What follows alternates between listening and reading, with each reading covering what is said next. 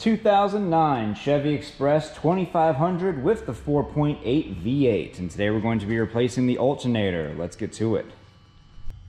All right, with our alternator located conveniently right on top of the engine right back here, it's a pretty straightforward job. It shouldn't take too long. First up, we're gonna go ahead and remove our intake box.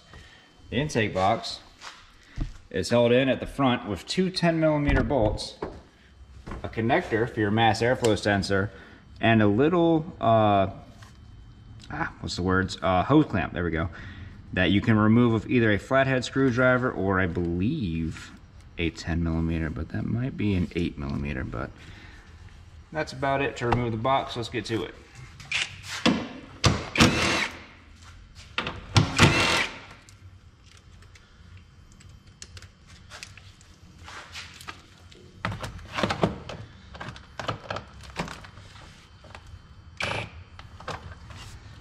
Hose clamp is an 8 millimeter, but the angle is pretty bad, so I'm not going to be able to do it. I'm gonna have to use a flathead screwdriver. Over to your connector, it has a safety tab on it. You're just gonna need to get underneath of that with a flathead screwdriver and gently pry that up and fly it across the room. Just kidding. But make sure you don't lose it. So you can just pop it back in. Go ahead and squeeze the connector clip down here at the bottom and pull out. And then you can just tuck this out of the way somewhere. That looks good to me. And I'm actually just gonna go ahead and put this clip back in right there. So it's not locked in, but when you reconnect it, you just press this gray piece down and it'll lock it in. Grab that screwdriver and we can go ahead and start removing our hose clamp.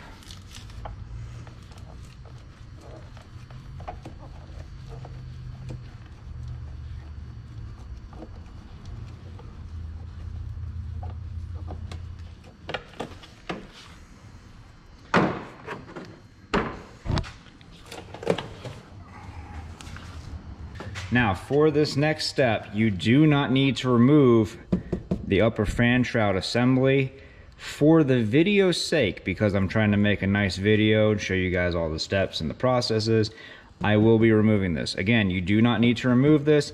It's a little bit cramped in there, but you shouldn't really have any issue with doing this job for the alternator or doing this job for the drive belt or whatever have you. This is strictly for educational purposes. First thing I want to do, go ahead and remove our overflow tank.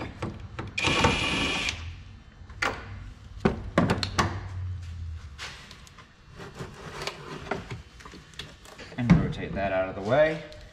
Next, on each side, there are three 10 millimeter bolts.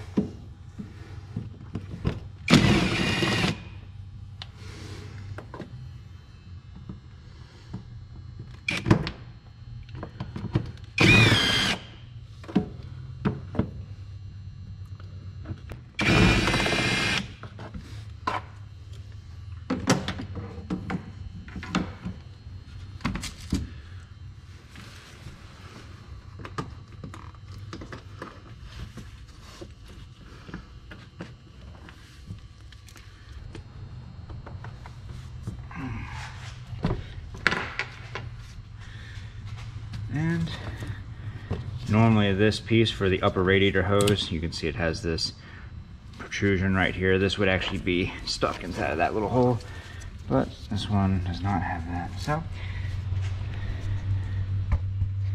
and last but not least,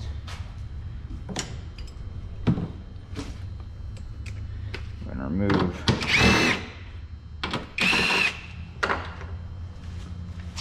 these two 10 millimeter bolts right here.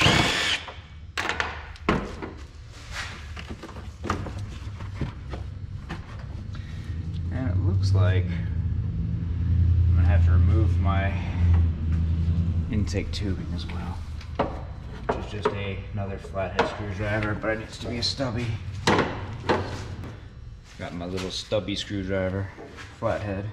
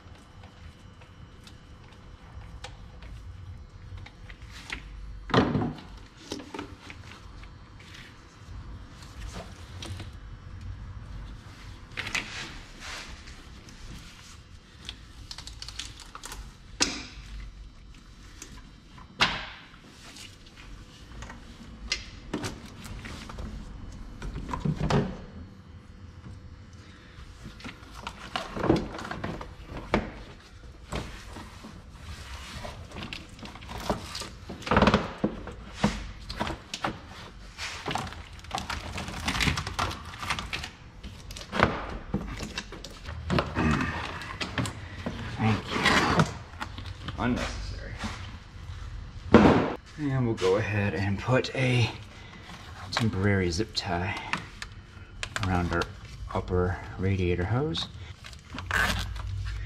All right. So again, for educational purposes only, we have removed the upper radiator shroud. You do not need to do this. I just did this so that I would have a much better view for the camera and for the audience of whoever's watching. Now, located right here is your tensioner, your drive belt, obviously, your idler pulley, alternator, your power steering pump, your water pump is located directly behind your fan. And below that will be your crank. And right over here on this side is your AC compressor. So in order to relieve the tension off of the tensioner, we're gonna need to grab ourselves a 15 millimeter ratchet. With your fan shroud still on, you can use a, a, uh, gear wrench ratchet like this, just slip in there pretty well. Or they have specialized tools. For me, I would probably just use a ratchet. And if I needed the extra torque, I would perform a double ratchet and use that to get it done. But we can go ahead, rotate in a tightening or clockwise rotation. And we just reach over here on top of the alternator and pull this belt off. And actually, even easier than the alternator, I'm gonna put that in. The idler pulley is a smooth pulley. You can just slide that right off that. I wish I had thought of that first before hang the alternator. Let go. But I did not. Oh well.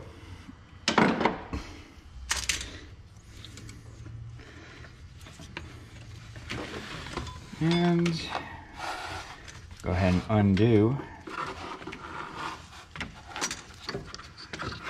everything off of there and remove your old drive belt.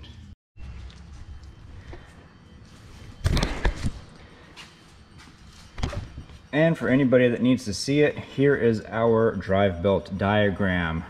Your main crank, around the water pump, around the power steering pump, over the alternator, around the tensioner, and over the tensioner. Your AC compressor has its own belt system and that loops behind your main belt. So we won't be replacing that. This video is just for the main belt or the alternator. So, you know, do with this video what you will. And uh, if you need to freeze this picture, just go ahead and pause the video. And our next step is going to be to remove the negative battery terminal. The battery is located on the passenger front fender. Go ahead with a wrench. Break that nut loose. And unscrew the bolt head. And just like that, yeah, good. Disconnected. And we're just gonna tuck this thing out of the way somewhere because we do not want it to accidentally reconnect and shock us while we're disconnecting that alternator. And next, removing the alternator, go ahead and grab your 15 millimeter. I'll be using my 3 8 impact. Move the first bolt and the second bolt. It looks like I might need just a small three inch extension to go between the fan because it's the first one I found.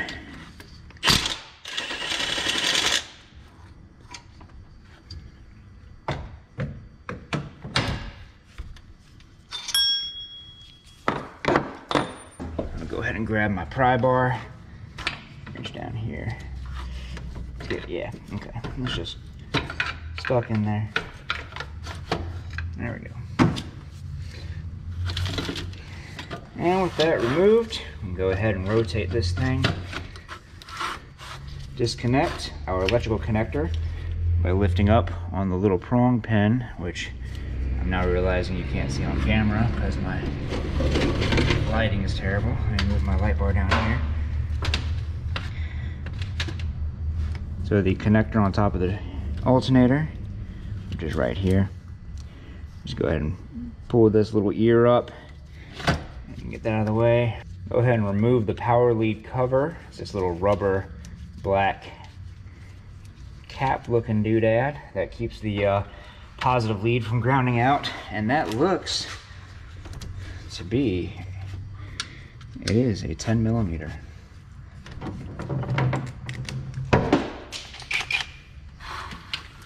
Let's see if I can get lucky and get this going here.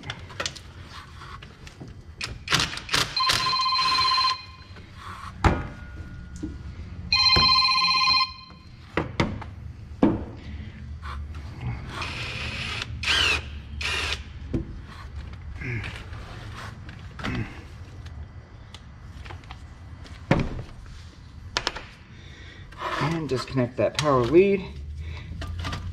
And there's our alternator. Hmm. By the way, for this video, we're going to be using the CarQuest 11364 Alpha alternator.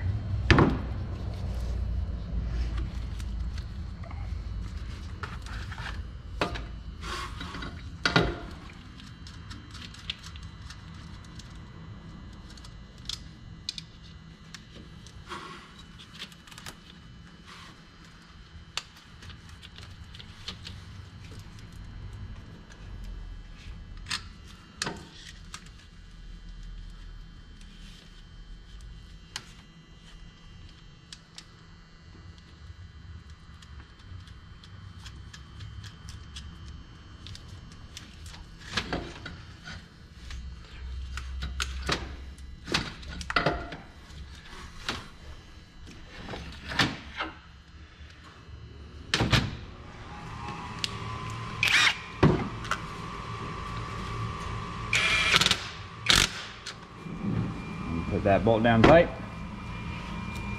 Slide that protective cover back over it.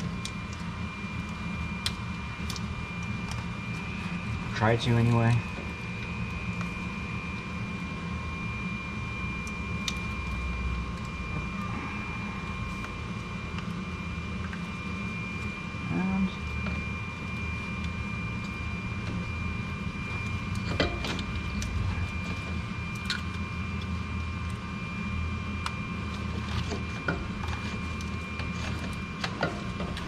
And reconnect that connector.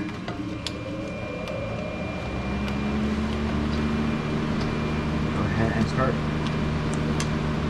sliding this alternator back into place. And grabbing a hefty hammer, giving it some light taps.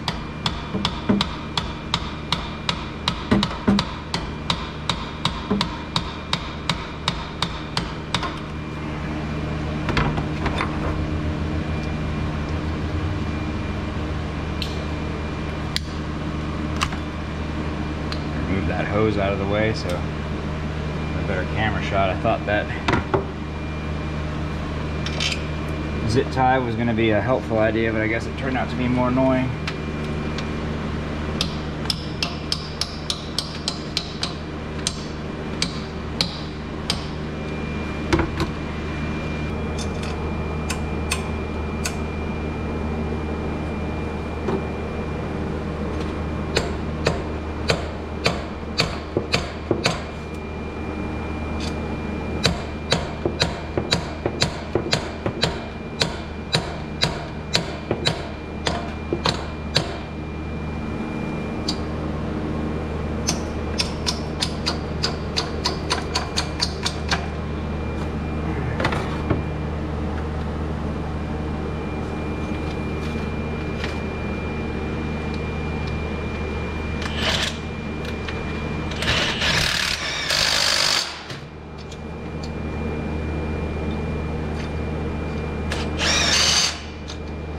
Hose.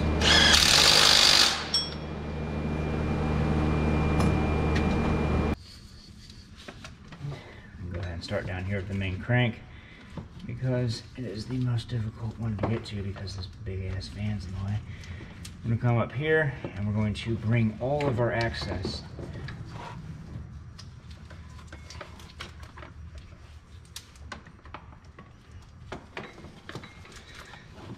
We're gonna go ahead and we're gonna put the drive belt into the grooves of the main crank and then we're gonna pull all of our slack up over here to the left and make sure you get all the slack up because that thing will come off real quick like.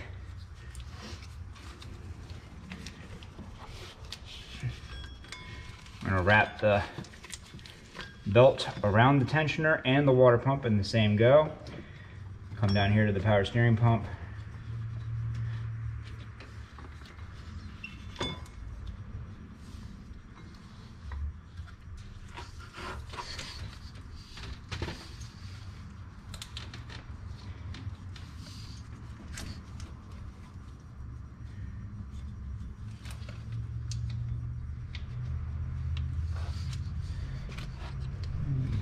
Here to the alternator. And with everything lined up in all the correct grooves, so make sure you double check that. that everything is nice and straight, the water pump's good, the main crank is wrapped around tightly.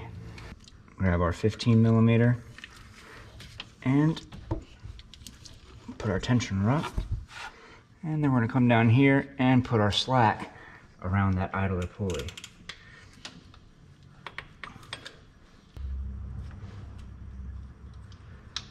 Like so.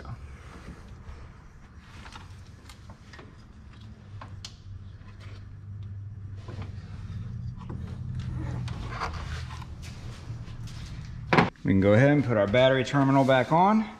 And as previously stated, I removed my upper radiator shroud to give you guys a better shot with the camera. Uh, that was for educational purposes only. You did not need to remove this for this job.